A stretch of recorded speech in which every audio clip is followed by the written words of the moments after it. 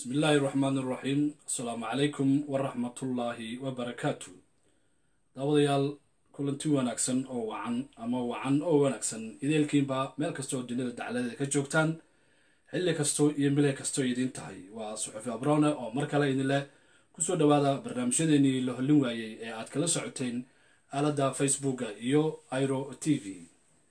Barnaamijkeenna maanta aynu ka hadli doonaa waa barnaamijkan ugu magac darnay dhulkii eebayaasha oo ah mid aynu ku daahfuraynay in dhoweydba ama qobanoyaal ama musalsal ahaa waxyaabo badan oo ka daahsoon bulshadeenna meel kastoo ay dunida dacladeeda ka joogto.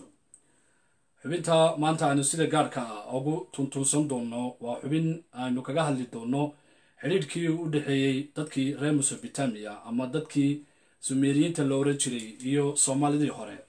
Xidhiidhkaasi aynu kaga soo qaadan doonno waxyaabo badan oo ilaa maalinka maanta ka dhexeeya labada mujtamac goorta ama xilliga aynu dib idinkugu hayaaminayno waa xilli aada u fog oo ka hor dhowr kun oo sano ka hor dhalashadii nebi ciise calayhi salaam.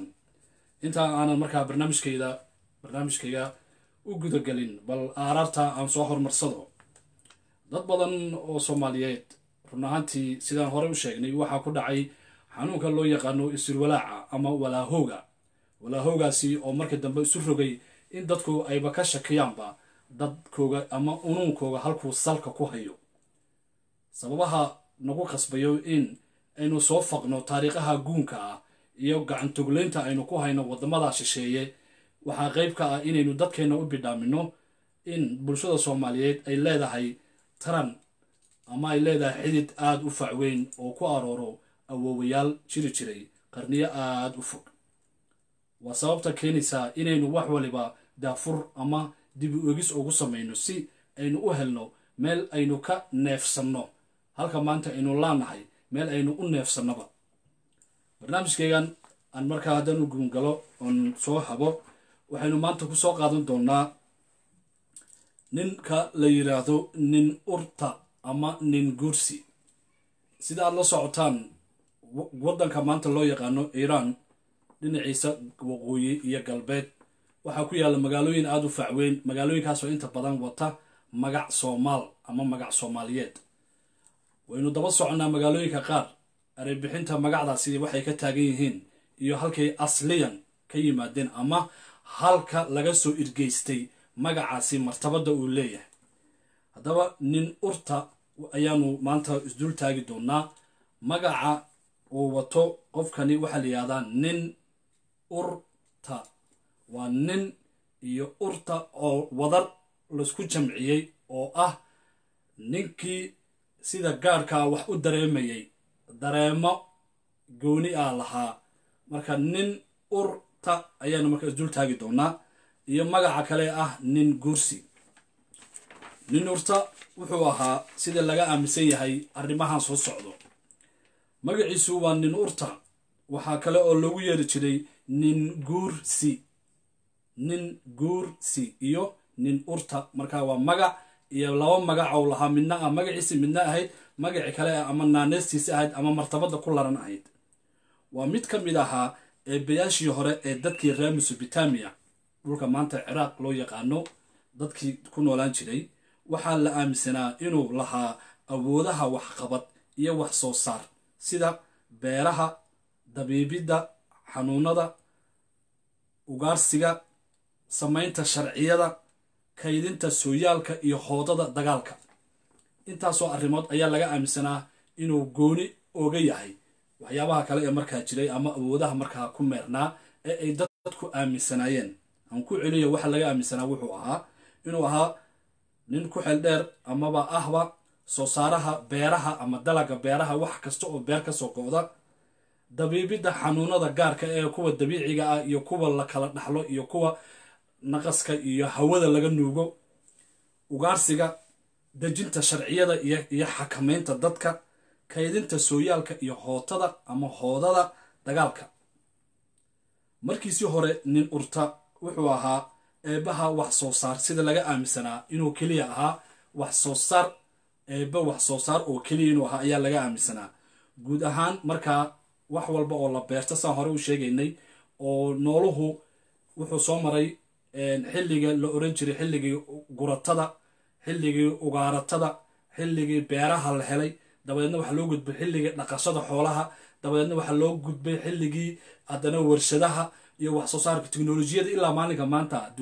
Bili-aadanku kolbo kaalinta markaa uu joogo ama xaaladda ku gadaaman ayaa markaa u ahayd mid uu hayin u yahay wax weynna la ahayd qofka la martabadaynayo ama la boqrayana waxaa lagu sidki jiray inuu wax weyn ka qabanayo baahida markaa taalla.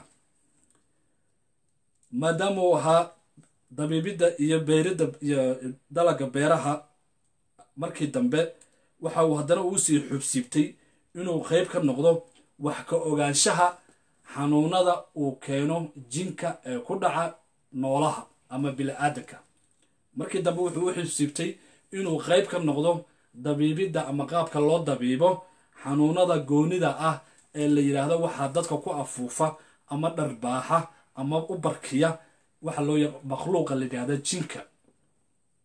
Halkaasoo marka la yidhaahdo waxa uu ka qaaday cadaawad dheer oo markaa ay jinkii u qaadeen maadaama uu noqday dabiibe jinkii xanuunadiisii iyo arrimihiisii iyo meeluhu udbahay dhigaha dhiganayay ayuu ka saarayay. Halkaa marka waxaa ka bilaabday dagaal u dhexeeya isaga iyo jinka. Kadib balse markii dambe oo dadkii taranka dadkii reer mesobotamiya ay tarankuugu bateen waxa uu isu rogay inuu noqdo layliyaha ciidamada sida gaarka ah u tababaran. Nuurta waxa uu haddana noqday oy dadkiisu ku dhawaaqayeen mararka ay doonayeen inay magaciisa xusaan. Eebaha dagaalgelinta haliyeeyada markaasi gaydhamaya ee ku xeeran nidaamka dhaqan iyo midka dowladeed iyo ka siyaasadeedba. Ayaa haddana la boqray markii hore xaalad buu ku sognaa markii dambena xaalad kale uu isu bedelay mar saddexaadna wuxuu isu bedelay awooda wuxuu la soo baxay inuu layliyaha ilaashaha siyaasadda iyo dhaqanka iyo waxoo dhan eebaha markaasi loo hoostaga ayuu noqday. Kadib haddana waxa uu markii dambe oo afaraad uu noqday caaqilka eebihii la oran jiray enlil enlil isaguna mar gooni aanu ka warrami doonaa. Wuxuu noqday caaqilka eebihii la oran jiray enlil oo wuxuu biirsaday awoodihii. Waxa uu markaa nin urta uu isu keenay xerdiimeed laga soo dhex xulay dadkii reer sama ama reer sumal. Hadba sidii la doono. Sidaan hore u sheegnay haddaad doonaysid inaad taariikhdaada baarto isku day inaad wax walba ood maqashid aad maqashid ama qoraal ah ama maqal ah ama daawasho aba inaad soomaaliyeyso waxaa hubaala inay kuu soo baxayso wax badan oo kaa daahsoon. Waxa uu nin urta uu soo lalabay ama uu diyaariyey xerdiimeed laga soo dhaxulay guud ahaan dadkii reer sumar ama reer sumal. Isagoo xarun ka dhigtay meesha la yidhaahdo ninbuur oo ku taalla ninbuur oo markii dambe uu ka dhisay qudbi la yidhaahdo ishumi isha. Qudbi uu ninbuur ka dhisay ayaa waxaa la yidhahdaa ishumi isha. Waa laba weedhood oo iyagana isku xiran. Ishumi isha ayaa ku qoran. Laakiin markaa aad kala saafto oo laba u kala saarto halkaa waxaad ka helaysaa waxyaabo qaarkood. Waayo mar walba oo tixraac ama raadraac aad samaynayso waxaa soo burqanaya oo aad arkaysaa waxyaabo badan oo la dheegay ama la marin habaabiyey ama la ergeystay oo ergeysi ku maqan. Qudbiga waxaa la yidhaahdaa ishumi isha intaa kadib eebihii ninguursi waxa uu haybadeeyey boqor la yidhaahdo boqor godeeye. Waa maxay godeeye? Soomaalida waxay tidhahdaa looma godeeye waa loo guuraa.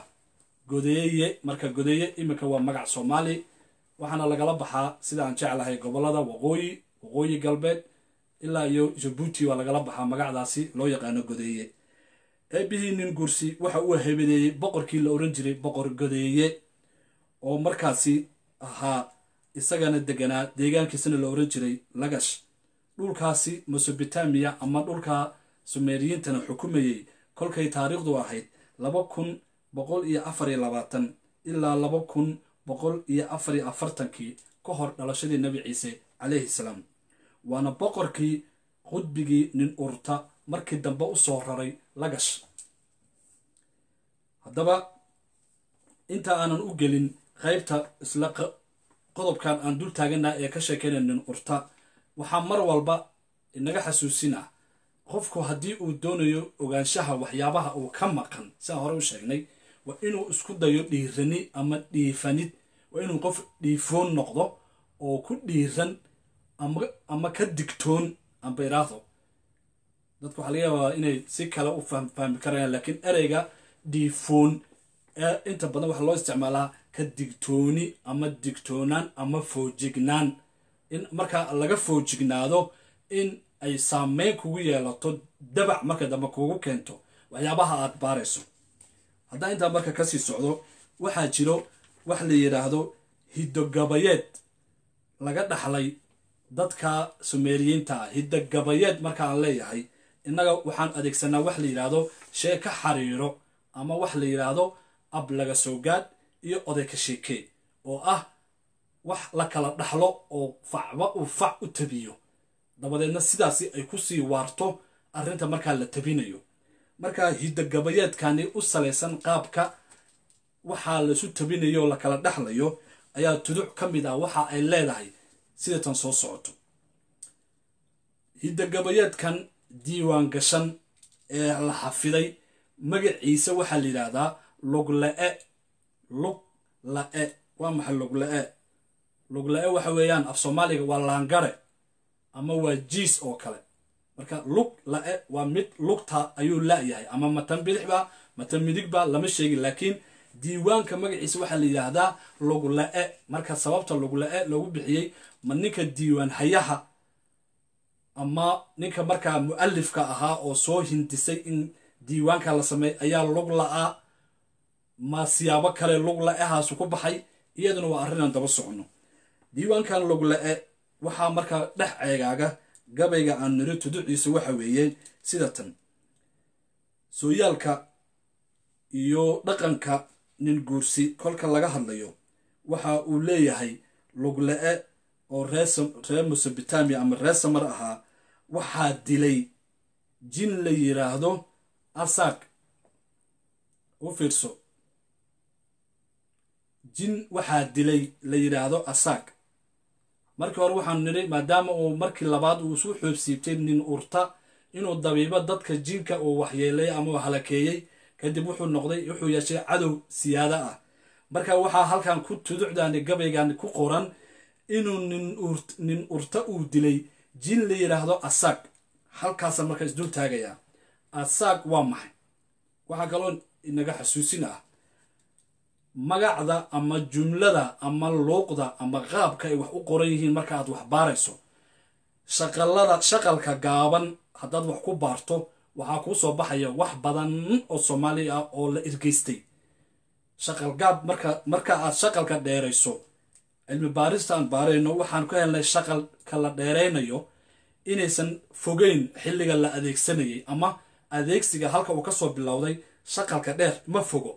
Xilligii qablul islaam diinta islaamka kama sii fogo marka laga hadlayo.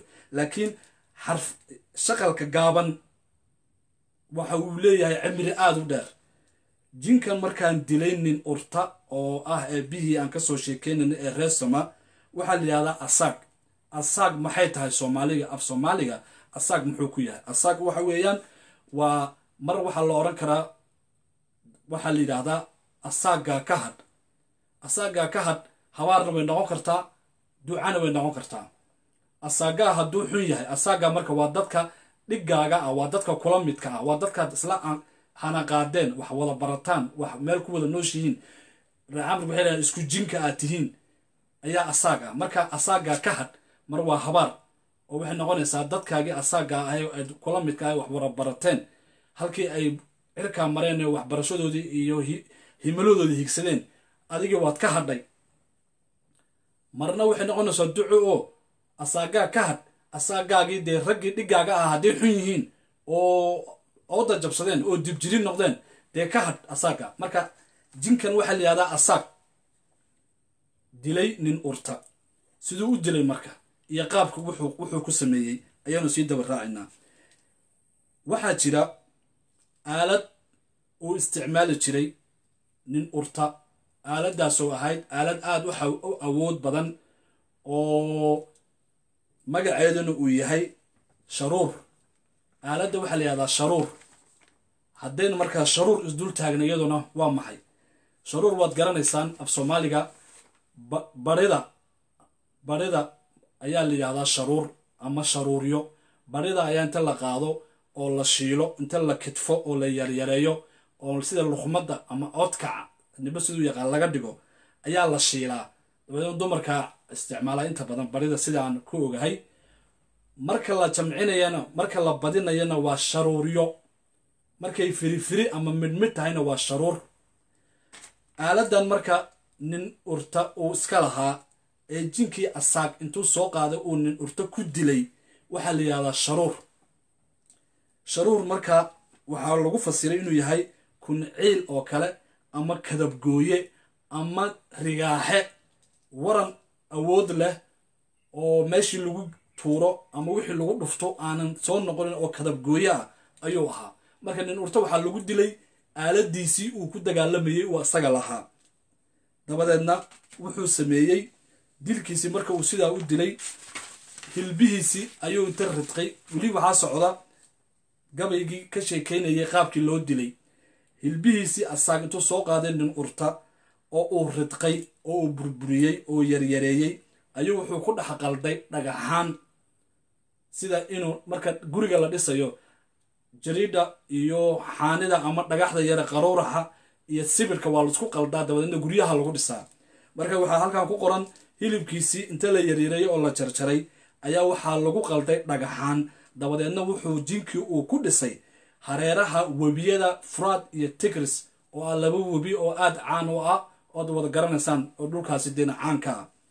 Sababta uu sidaa u yeelayana waxay ahayd eebbahani nin urta oo la aaminsanaa inuu ahaa eebbaha wax soo saarka dalaga beeraha ayaa waxaa loogu talagalay in laga dhigo hilibkiisii dhagaxda lagu ridqay in uu sameeyo waxa loo yaqaano cararog marka la doonayo in la sameeyo wax la beekhaamiyo ama la bacrimiyo waxaan ka wadaa la cararogo waxaa la isticmaalaa aalado cusub si ciiddaasi gabowday ay u noqoto ciid nafaqaysan. Hilibkiisii ayaa marka cararog loo isticmaalay dabadeedna webiyaashii halkay karkaarada ka jabsanayeen ayaa lagu sameeyey oo lagu dhisay. Halkaasi ayuu markaa nin urta taariikhdiisii ay ku soo afjarantay. Wax badan marka oo aynu ka soo dhex saarnay si barnaamijkeena aan u sii wadno ayaa halkaa ku jirta. Marka haddaynu hal mar dib ugu noqonno ereyadaasi aynu iminka isticmaalnay haddaynu hal mar dib ugu noqonno kow ereyga ah ishumi isha ereyga ah nin urta. Waxaa jirta magaalo layihahdo ur oo ku taalla iiraan. Ur baa la yihahdaa maanta. Waxaa jirta magaalo layihahdo isfahan. Magaalooyinkaas marka ur haddii la ur waa ur waa shanta dareen amaba mid ka mid ah oo ah urta yacni waxa la urinaya ayaa ur ah. Marka nin urta iyo ishumi isha iyo asaag iyo sharuuryo intaba waa erey soomaaliyeed oo dee aan biyo ismarin. Una baahan inaynu raadraac ama dee aynu dabagalno ereyada ama weedhahaasi la ergeystay ee inta la rogay si kale loogu dhawaaqayo. Laakiin marka aad soomaaliyeyso erey waliba asalkiisii ayuu ku soo fariisanayaa. Halkaa markaa qaybta koowaad ee barnaamijkeenii sinji iyo sooyaal ayaynu kaga baxaynaa. Intaynu markaa u gudagelin qaybta labaad waxa ay sheegayaan bugaagta qayb ka mid a buugga layihahdo kalhow iyo buug layihahdo nasroj oo labada buugba wax badan ka qoray taariikhihii hore labadaba waxa ay qaarkood ku doodayaan. Nin urta iyo ninkii la odhan jiray nimruud inay isku mid yihiin. Nimruud oo aad garanaysaan oo meelo badan lagaga hadlay qur'aanka kaga hadlay oo ahaa nin cajaayib ah oo dee yacni dee tegay oo maxaa layihahdaa yacni ahaa dee nin daalim ah weyn iyo nin urta meelaha qaar marka halkan waxay ku xusayaan inay isku mid ahaayeen. Oo mar dhexdaas ah qarnigii sagaal tobnaad oo aan fogeynba mar la soo faqay meesha la yidhaahdo meesha la yidhaahdo nisroj ayaa laga helay bay leeyihiin kurkii nimruud oo lagu sameeyey shimbir sida awoodigoo kale ah. Marka waa arrin baaris u baahan laakiin halkan unbaan idinkunbaa idinla socodsiinayaa nimruud iyo fircoon oo iyaguna labadaasiba dee ilmo kooshiyiin ah iyaguna mar kalean ka hadli doonaa waxay ahaayeen iyo siday yihiin. Qaybtaasi marka koowaad halka ayaan ku soo afmeerayaa waxaan u geligelayaa qaybteeda labaad ee barnaamijkeena soyaaliya sinji waxaanu qaybtan ku soo qaadan doonaa qaybta la yidhaahdo caada adeegsiga shimbiraha. Waxaan horey oga hadalnay caadada bahalaha ama bahal iska dhigga oo dadkeennii hore waxaynu ka hadalnay caadada naf iska qaadidda ama qudh iska goynta ayaanu ka hadalnay. Tan waxaynu kaga hadlaynaa marka caadada adeegsiga shimbiraha. Waxaynu ku ibafuri xayawaanka qaad iyo qaar ka mid ah iyo siday ugu qidmeeyaan dirka ilmo nebi aadam. Sida qaalibka xayawaanka dareen dareen garasho baaxad iyo awood kasta oo ay leeyihiin waxay u darban yihiin misna hayin u yihiin adeecidda aadamaha waana arrin uu ilaahay subxaanah wa tacaala uu ku ihaaneeyey qaybtaan marka waxaanu ku soo qaadan doonaa adeegsiga shimbiraha. Shimbiraha kuwa leh burjiga iyo bariirta misna laga aaminsan yahay in lagu lamaan yahay sida gallaydhka gorgorka aboodiga xuurta aritirista guumaysta tukaha marista. Marista waa shimbirta loo yaqaano shimbir malabka iyo kuwo ka mid a ayaan soo qaadan doonaa shimbiruhu adeegsigooga waxay qayb ka ahaayeen qaadidda dhambaallada jacayl horinta colaadaha yacni dhambaalada loo kala diro waxay qayb ka ahaayeen usutabinta qaabka ay colaadaha u hurayaan. Ama dee dagaaladu marka ay dhacaan yacni uu dhaco marka waxaa loo yaqaano gabadfalka markuu dhaco ee dhiigu iyo xinjiradu daataan oo meydadku ay gidaaradu dangeegsan yihiin waxay ka bixin jireen. Jabaq ay ku tilmaamayaan halkaa waxaa ka dhacay adeegsiga shimbiruhu marka waa tiknolojiyad adduunka soo martay oo qayb bay ka ahaayeen dhambaalladii caalamka loo kala diri jiray ama dunidu adeegsan jirtay. Shimbirahaasaan marka soo qaadanaynaa qayb ka mid ah intaa innaga marka barnaamijkeena maanta ka qusayso. Marka shimbirahaasi gallaydhka oo kale iyo ninka la yidhaahdo shimbirtila awoodiga labadaasaan isku daynaa inaan isdul taagno. Kow galleydhkaan ka bilaabi doonaa. Waxaa jira marka suugaanta soomaaliyeed oo aan mar walba ka hadalno waxay ku qotantaa ama ay leedahay mug iyo qaro sugaanteenna. Dhinacaad sugaanteenna ka gashaba. Waa dhinac aadan ka gayoonaynin marka qaybtani fanka oo kale ayaanu ka bilaabi doonaa iyo waxyaabaha markaasi laxawga iyo kaarka ama aramida dadka markaa haysa ee ay la-yihiin meel ay u tabiyaan ama cid ka qaada marka shimbirahaasi qaadayey ee lalinayey aarahdaasi dhibanaha ka soo burqanaysa ayaanu iyadana ku soo qaadan doonaa qisada koowaad ee shimbir adeegsiga shimbiraha leh garab taabadka ama laga aaminsan yahay inay biriir ama burji leeyihiin waxaan ku bilaabaynaa qiso ka dhacday magaalada saylac ee gobolka awdal. Oo mar ahayd caasimadda ummadda soomaaliyeed waqti aada u fog. Qisadan waxay xambaarsan tahay jaceyl dhex maray laba ruux oo dhig ah oo iscalmaday balse aan iscalfan maalin qurana axankoogii labada cunay. Laba qof oo dhig ah oo isjeclaaday oo dhig wiil iyo gabadh ah oo intay iscalmaday aananse iscalfan misna maalin qura axankooda labada cunay. Axanku waa maxay? Axanku waxa weeyaan waa duugta. Koonfur waxaan malaynaya duug ayaa loo isticmaalaa. Qofka marka uu dhinto axankiisaa la cunay baa la yihahdaa axan iyo waxaa jiro iyo iyo agas agaska isagana gooni waan oga hadli doonaa labadaasi magacooda waxaa la kala yihahdaa mulliye iyo xuseen. Waxay ku xusan yihiin bugaag fara badan. Sida buugga ugu dambeeyey ee layihahdaa mulliye saase ee uu qoray professor maxamed xuseen xadi mulliye iyo xuseen waxa ay ka kala dhasheen laba reer oo midna jeebkoodu buuran yahay oo dhaqaale haysta iyo mid yacni maxaa la yihahdaa waayaha iyo waqtiga uu ciilay xuseen reer hodan uu ka dhashay.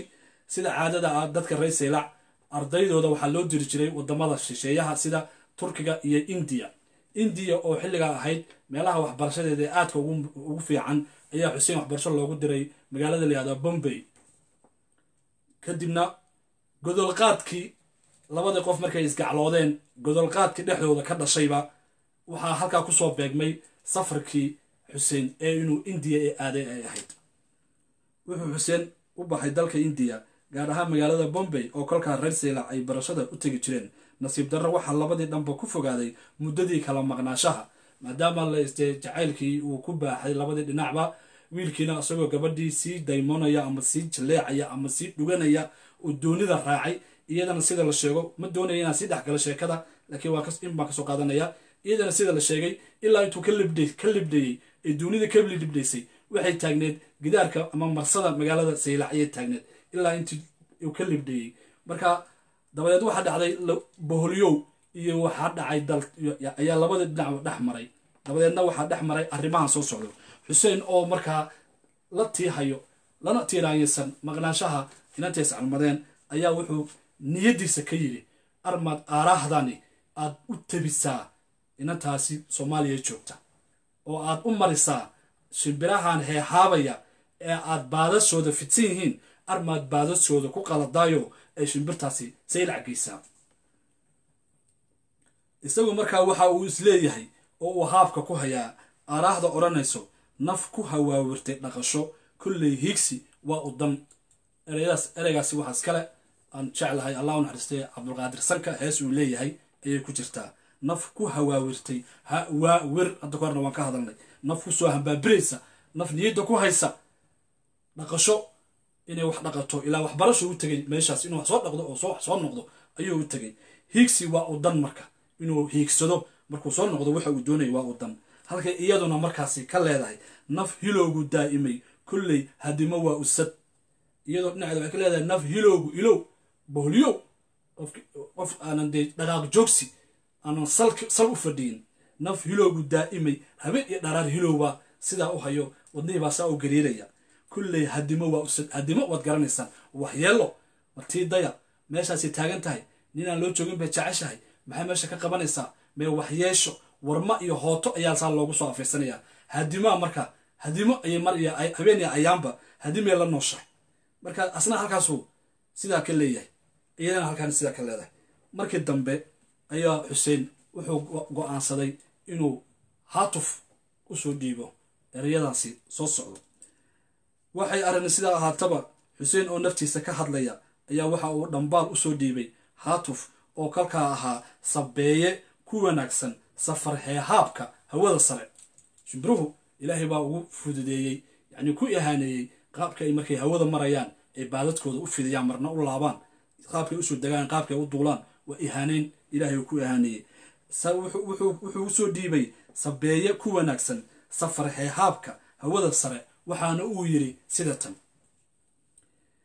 Wuxuu yidhi shimbiray lalaay ma i duulaysaa hoowa. Shimbirtii buu la hadlayaa. Shimbiray lalaay hoowa. Shimbirtii buu la hadlayaa. Gabadhii casayd ma i garab dhigtaa. Yacni waxa weeyaan shimbiray lalaay ma i duulisaa. Shimbir ahay samadaa marayso maad i duulin oo maad sare ii qaadi oo maad ii awoodda inaad halkan doonaya i geyso. oo misna gabadhii casayd ee mulliyo aad ii aggeyso.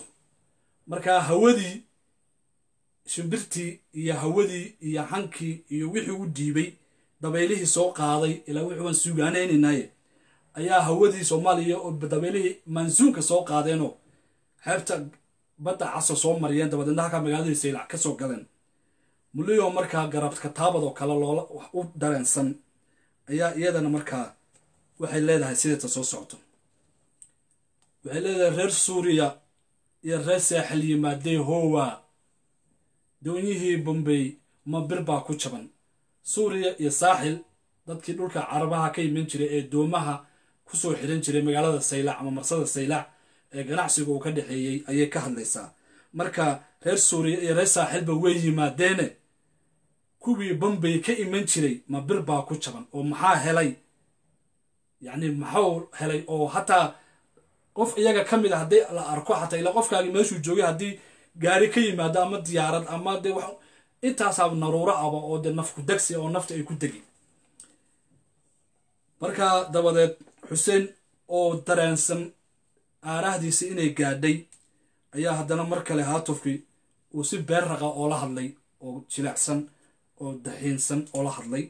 Isagoo leh maadaama ay tiri reer suuriya iyo reer saaxil yimaadee hoowa doonyihii bombey ma bir baa ku jaban? Isna wuxuu yidhi amba waan jeclaa inaan soo jid maree hoowa jiilaal shiiba jidka igu xayiray.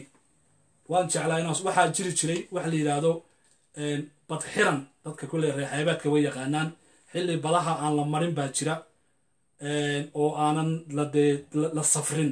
Marka wuxuu leeyahay jiilaalkaasa igu adkaadaye hataa waxbarashadeeda waan ka soo tegi lahaa. Marka ko wuxuu yidhi shimbiray lalay hoa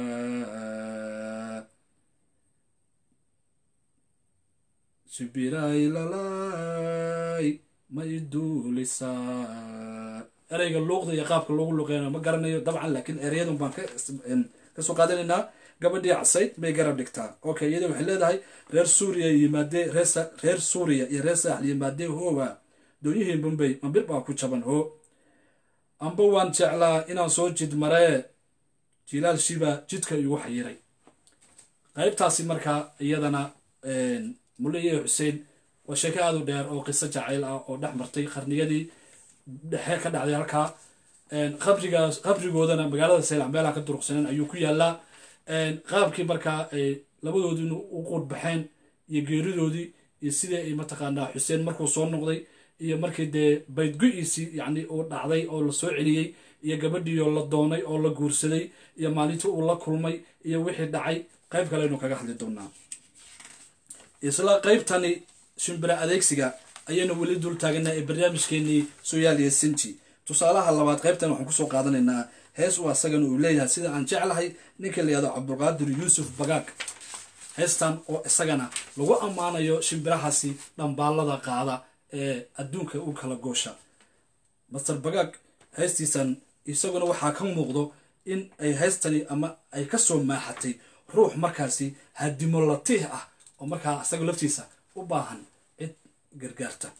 Wuxuu leeyahay galowgii iyo haaddii aargooni meeraba golowga iyo haaddii aargooni meeraba gurxan lagama waayo ilan wuu gariiraa adaa qurux gobaydiyo haybad gaar ahaaneed guulo uu ku siiyo guddigood ku dhaafee adaan geysiyow baqine gallaydhihow adaan.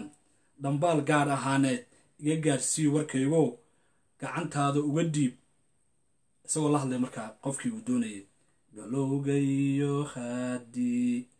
argooni meera gurxan lagama waayo ilan wuu gariiraa. Intaa dambe wuxuu leeyahay intaa dambe wuxuu leeyahay adaan geesiyow baqine gallahaydhiyo howadaan dhambaal gaar hane garsii warkaygo gacantaada uga dhiib. Cid uu ku ammaanayo oo kale ma jirto yacni golowgii iyo haaddi golow waad garanaysa waa qayb idan shimbiraha ka mid iyo haaddaasuu la hadlayaa iyo aar gooni meeraba aar waa libaax hadba meel marmara. Yacni wuxuu soo qaadanayaa aaraarta inta uuna aaminayo intuuna aaminaynin gurxan lagama waayo yani gurxanka waa waa orta ama khaylada ka soo baxda libaaxa aarka ama aarka oo kale ila wuu gariiraa adaa qurux gobeydiyo wuxuu la hadlayaa marka gallaydhkii ama baaskii buu la hadlayaa. Haybad gaar ahaaneyd guulo ku siiyo guddigood ku dhaafay. Waxaa kale oo dhan adaa ka haybad wanaagsan. Adaan geysiyo baqine gallaydhihow marka dhambaalkii baa loo xambaarinayaa gallaydhkii dhambaalkii ayaa loo xambaar dhambaar gaar ahaaneed iga gaarsiiyo gacantaada uga dhiib qof kale ha u dhiibin sida aad ka daawataan barnaamijyada laga laga sameeyo shimbiraha ama qaabka loola tacaali jira ama ay dhambaaladu qaadi jireen. Shimbirku wuxuu yahay waa wax cajaayib ah. Warqadii wax lagu qoray aalad kale lagu sii xirayaa ama duug bahasha la yidhahdo dhuuban shimbirka lugta lagaga xiraya wuu qaadayaa halkii la yidhi gee ayuu geynayaa. Marka waxaa jirtay sida maalinka maanta ah caalamka waxaa jira wax la yihahdo birmageydo shimbiruhu marka birmageydada qayb ka ahay lama dili jirin. Haddii la arko shimbiraha qaarkaasoo markay dagaaladu socdaan socda ama wax keenaya ama meelaha dee boqortooyooyinka deganyiina soo gelaya lama dili jirin waxna lama oran jirin. Kolka ay soo degaan waxaa la garanaya inuu dhambaal wado waa loo dhowaan jiray rag marka dhambaalkaasi shimbiraha lugahooga ka soo fura ama dhudhumahooda ayaa jiray. Dabadeedna shimbirka waa la gasiin biyo iyo baadba waa la siin jiray. Si markaa ilaa shimbirku waa dhambaal waxa weeyaan wuxuu qayb ka yahay dee geneva confusionka maanta lagu fahano ayuu qayb ka ahaa oo wuxuu ahaa birmageydo marka shimbirkaasi ayuu wuxuu leeyahay cid kale kuma aaminaye adiga gacantaada uga dhiib aan ka sii soconno qaybta saddexaad ee isla qodobkan aan dul taagana shimbira adeegsiga hees kaloo waxaa jirta ay qaado. Allah u naxariistay xalimo khaliif magool oo ka mid ahayd fanaaniintii qaranka ummadda soomaaliyed ilahay ha u naxariisto. Dhammaan intii gooriyata ilahay ha u naxariisto. Iyaduna waxay leedahay sidatan iyadoo marna iyadana shimbir la hadlayso. Waxay leedahay shimbiryahow ma duushaa oo ma dabayla raacdaa shimbirta waa lala hadlaya. War shimbiryahow ma duushaa oo ma dabayla raacdaa dadka ma u adeegtaa oo ma u dadaashaa shimbirta waa la leeyahay waa su'aal iyo iyo iyo tabasho iyo cabasho iyo hawl intaba loo dirayo. Shimbiryahow ma duushaa oo ma dabayla raacdaa dadka ma u adeegtaa oo ma u dadaashaa dalanbaabi baan ahay. Iyadaas ka hadlaysa marka xalimo khaliif magool insha allah ayaas iyadaas ka hadlaysa. Dalanbaabi dalanbaabi waad garanaysaan. Waa qof aan lug ku taagneen oo dabayluhu ay sitaan qof dabayluhu sidaa u sitaan oo meel meel la haysane qof heehaabayo ka soo qaad. Dalanbaabi baan ahay. Daalaadhacaya daalaadhac waad garanaysaan qof urugadii iyo xanuunkii iyo tamar darradii inta ka badatay daalaadhacaya de oo sidaa u leegleeganayo dalanbaabi iyo daalaadhac haddii isugu kaa biiraan dee waxa weye waad go-day. Dalanbaabi baan ahay daalaadhacaye kala qaad dibnaha oo garyaqaan ma tahay. Isagaa lala hadlaya kala qaad dibnaha oo shimbiryaho ila hadal oo garyaqaan ma tahay. Hawshan aan kuu dirayo ma ka garaabi kartaa oo ma ma garya garyaqaan yacni ma noo kala garqaadi kartaa aniga iyo qofka aan wax u dirayo. Degmadii fogaatiyo meeshuu laguu diro dowgeeda ma garataa meel aada u fog ayaa wax lagugu diibayaaye meesha ay ku taallo dowgeeda maad garanaysaa. Heestaana waxaa ku luuqaysaa xalimo khaliif magool waxay leedahay shimbiryo maduusha madabayla raacda dadka ma u adeegtaa oo ma u dadaasha? Dalanbaabi baanay daalaa dhacaye fanaan maahi laakiin dee ereydin baan isku dayaa inaan idiin soo tabiyo shimbiryaho ma duushaa ma dabayla raacdaa dadka ma u adeegtaa oo madaad oo ma ma u dadaashaa dalanbaabi baa nahay daalaa dhacaye kalaqa dibnaha oo garyaqaan ma tahay. Degmadii fogaatiyo meeshuu laguu diro dowgeeda ma garataa qaybtaasna waa taa waxaan ku xujinaynaa isla heesta afraad oo iyadana isla qodobkan shimbire adeegsiga oo asagana uu qaado. Allahu naxariistay asaguna fanaankeenu wanaag soomaaliyeed. Cabdalla nuur hanuuniye. Cabdalla nuur hanuuniye asna wuxuu leeyahay shimbiryahow dabaylaha daruuraha dhex maraya. Shimbiryahow daruura dabaylaha dhex maraye daa'inkii ku uumaa orodkuugu dowgalay war shimbiryahow dabaylaha daruuraha dhex maraya. Walaag shimbirihiibaa waxaa loo dhiibaya. Dadkeena in badan way ka daahsuntahay arrintaasi. Da'inkii ku umaa orod kugu dowgalay ilaahaygu ku abuurtay adoo shimbir ah ayaa orod kugu dowgal yacni waxa weeyaan meel walba inaad marto ood ku socoto. Anna inaan dilanahay daqaradii jacaylka qaba. Marka wuu sheegayaa anna inaan dilanahay oo daqaradii jacaylka qaba. Daha kaama saarno dusheeda waad ka aragtaa. War shimbir yahow indheer garad baa tahay inaan nabrihii jacaylka ana aan dilanahay oo nabrihii jacaylka ugu yaalaan dusheedaad ka aragtaa. Shimbirkii buu u sheegayaa sidii qof wax yacni dareemayo waayo qofka aad wax u dhiibanayso waa inuu yahay qof aad sida aad wax u aragto wax kuula arkayo. Dusha kaa daha kaama saarno dusheeda waad ka aragtaa. Shimbiryahow dunida oo idil meeshii aad doontaba adigaa u duulee damaashaad ku wada mara. Shimbiryahow meeshii aad doontaba hawadaas inta lalsho ood hawadaa kababaadkaaga dhan u wado ayaad hadba dhan u damaashaadaa damaashaadka waad garanaysaan daansho daanshood iyo damaashaad ayaa jira. Marka isagu damaashaad buu ku jiraa. Yacni waxa weeyaan meel waliba oo uu dunidan ka doono wuxuu ku mari karayaa si damaashaad leh oo aanan naxdin iyo baqdin iyo ama lagu dila iyo ama halka lagaga soo boodoosan lahayn. Hawadaasuu sabaynaya. Ugu dambeyn wuxuu leeyahay dal fog oo aan gaari karin deg deg adaa u tegi kara. Marka intaa waxaynu ku soo afmeelaynaa barnaamijkeennii sooyaal iyo sinji oo aynu maanta kaga hadlaynay qayb ka mida taariikhdeenin urta iyo caadada loo yaqaano shimbira adeegsiga oo ay dadka soomaaliyeed qayb ka ahaayeen adeegsigooga. Waxaan markaa ugu dambeynta ku soo khatimayaa barnaamijkayga qaybtan ugu dambayso oo aanan ka wada gaari karaynin si aan wakhtiga u soo gunaanado. Qaybta ugu dambaysa waxaanu ugu talagalnay inaynu kaga hadalno waxa loo yaqaano gumaystaha iyo la gumayste. Dhammaantiin waa idin salaamaya soo wada dhawaada khiyaarta qiimaha leh rag iyo dumarba. Qaybtan waxaan ugu tagay inaan kaga hadalno xubin la yidhaahdo gumaystaha iyo la gumaystaha laakiin waqti ooma hayno barnaamijkeena dambe ayaan ku dari doonaa anoo markaa adkaynaya qaybaha aynu ka hadlayno barnaamijkeenna ku salaysan caadooyinka iyo sooyaalkeenna la aasay ama la farataystay ama la ergeystay in aynu dib ula soo xanano hadda ka hor iro t v waxaanu idinkaga soo tabinay war qofku waa inuu laba arrimood uu diyaar u yahay. Kow qofku waa inuu yahay qof ay baylahay ka maqan tahay. Waa inay wax kaa maqan yihiin oo aad dareensan tahay inay wax kaa maqan yihiin. Labo waa inaad leedahay kalsooni iyo qab marka aad wax raadinayso. Waxaan aad raadinayso inaad ku kalsoon tahay oo yahay waxaad adigu leedahay. Kow labo inaad isku kalsoon tahay oo qofkii kaa hor yimaadaba wax kula yimaadaba aadan tiisa qaadan. Marka xaaladda markaa maanta aynu ku sugannahay ee ku salaysan walaahowga iyo isirwalaaca iyo dadkeenna mataqaan da-yarteenna ku sheekaysanaysa dadka soomaaliyeed meel walba waxaa lala socdaa rag aqoon-yahano sheeganayo rag sheeganayo quburo rag sheeganayo inay adduunyadii dee wax la soo laamaha sare yani mar ka mid ahaayeen ayaa waxay la soo taagan yihiin dadka soomaaliyeed waxay jiraan dhowr boqol oo sano. Qablal islaam waxay ka dambeeyay jiraan. Dadka waxaanu leenahay waa laba nooc. Waa marin habaabiyaasha aanan isdhalan rogin. Mar waa marin habaabiyaasha aan isdhalan rogin oo habeen iyo dhararba inay marin habaabiyaan u taagan. Dabadeedna jiil bad jiil u soo gudbiya.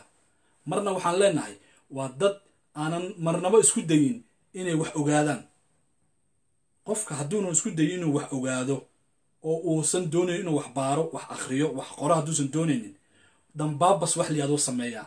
Wixii la soo qaadaba wuu dafiraa wuu inkiraa waxaan waxba kama jiraan waxaan sidan ma aha kan kan ma aha. Sababtoo ah libinta ayuu diidan yahay. Qofkan wax u soo helay ama wax la soo baxay ama wax helay ama dee wax soo bandhigay ayuu ka libin baa layihahdaa libinta uu diidan yahay. Marka labadaasaa dadkeeni maanta yani labada dhagood wax kaga afuufaya waxaan arkay oo wax aada looga naxa ah oo cajaayib ah. Maalin dhexdaasa qof baa wuxuu iisoo diray. Waxaan hadda ka idinka codsanay contribution. Qofka wax walba oo aad hayso is leedahay way in laga hadlo. Waxaanu idinka codsanaynaa meeshaan ku soo qornay inaad gmailkeena noogu soo dirtaan wixii tale iyo tusaale ah iro at gmail dot com. Nin baa marka wuxuu isoo diray maqaal uu leeyahay waxaa lagaga sheekeynaya taariikh soomaaliyeed. Kolley waa wax aniga ahmiyadeyda ama dee aan awoodeyda ama aan dadnimadeeda aan inta badan qiimeeyo inaan baaro wixii taariikh iyo dhaqan iyo sooyaal iyo hiddaaba ninkii waxaan ku iraa maasanta waan eegi doonaa. Waqti omaanli mar danbaan eegay waxaa ku qoran ciwaan qurux badan oo ah taariikhda tobanka kun oo sano la soo dhaafay ee ummadda soomaaliyeed. Waa magac martabeedku waa magac qurux badan. Waxaan yidhi alle leh wax badan baa meeshaan ka helaysaa waxaa la didir xabaalo qodeen qurun buu u dhacaa. Qoraalkii markii ugu horreysay markaan ciwaanka ka gudbayba waxaan arkay in laga dullalinayo indhaha dadka soomaaliyeed oo dad kale la rabo in meeshii lagu soo riixo dar riixasho. Xeebaheenna gaar ahaan koonfurta marka laga hadlayo muqdisho iyo marke iyo baraawi iyo kismaayo ayuu xoogga saarayay marka anigoo tii la yaaban uu dadk dadkii soomaaliyed uu ka riixaya meesha ayaa wuxuu yidhi waxaan ka hadlayaa taariikhda boqortooyadii ajuuraan. Boqortooyadii ajuuraan oo ah boqortooyo aan gobolka ka dhici jirin oo la oran jiray boqortooyadii barwaaqa sooranka kana mid ahayd labada boqortooye ee marka laga hadlayo horumarka iyo kacaamaynta iyo isku soo dumista iyo horgal yacni socodnimada marka laga hadlayo ahayd ayuu doonaya inuu ka hadlo. Wuxuu yidhi boqortooyada ajuuraan waxay ahayd boqortooyo dadka soomaaliyeed dhibta. Hadalkaasi markuu qof wax qorayo uu meel ku qoro oo qofkii wax raadinayo uu arko waxa weeyaan waxay ku noqonaysaa waran. Boqortooyo dhan oo jirtay oo awood leh oo soomaaliyeed oo marka boqortooyada ajuuraan iyo boqortooyada adal imbaya marka laga hadlayo siday isugu hilbadirirayeen cadowga iskaga dhicinayeen ummadda u ilaalinayeen boqortooyada ajuuraan oo maanta ceelasha la manfacsado soomaaliya oo dhan ceelasha la manfacsado boqortooyada dejisay istaraatiijiyada magaalooyinka town planninka dhan boqortooyadii dejisay beerahaad aragteen boqortooyadii dhistay buundooyinkaad aragteen ama kaabadaha boqortooyadii dhistay xeerarka iyo nidaamyada ciidamada boqortooyadii dhistay ayuu wuxuu ku waxay ahayd boqortooyo meel kaga dhacda soomaalida cadaadi jirtay. Anigoo tii la anfariisan ayuu wuxuu sii raaciyey boqortooyadani waxaa maamuli jiray ama boqor u ahaa nin masaare ah oo masar ka yimid. Marka qof soomaaliya oo sidaa wax u qoro qof soomaaliya markuu wax sidaa u qoro oo uu yidhaahdo boqortooyada ajuuraan waxaa boqor u ahaa nin masaare ah. Qofka cad ama ninka masriga ah ama ninka yacni doonaya inuu taariikhdaada dheegto xaguubuu joogaa. Marka dadka noocaasa ninkii email baan u qoray waxaan ku yidhi ka wantow waxaana masax kana saar meesha aad soo gelisay. Sababtoo ah waxa weeyaan waa taariikh cay horaan oga hadal taariikh cay baa jira. Taariikhdaada in la caayo maaha inaad ogolaato dhaqanka iyo caadada iyo taariikhda iyo diinta iyo wax walba oo aad ku gabraaranayso in la caayo meel lagaga dhaco waa qalad. Bulshada soomaaliya weliba kuwooda aqoonta sheegta ee wax qora oo meelo badan ka hadlaya isir sifaynta marka laga isir isir baraxa marka laga hadlayo isir barxa oo soomaalida ka dhiga dadyo kale iyaga laftooda waxaan leenahay arrintaasi dib ha looga joogsado. Barnaamijkeenii sooyaal iyo sinji oo aad kala socoteen iro t v iyo aaladda facebooka halkaa ayaynu ku soo afmeeri doonaa wixii tale iyo tusaale ah waxaad inoogu soo gudbinaysaan emailkeena ah iro at gmail com. Barnaamijkan mid la mid inta aan ku kulmayno waa anigoo idinleh wasalaamu calaykum waraxmatullaahi wabarakaatu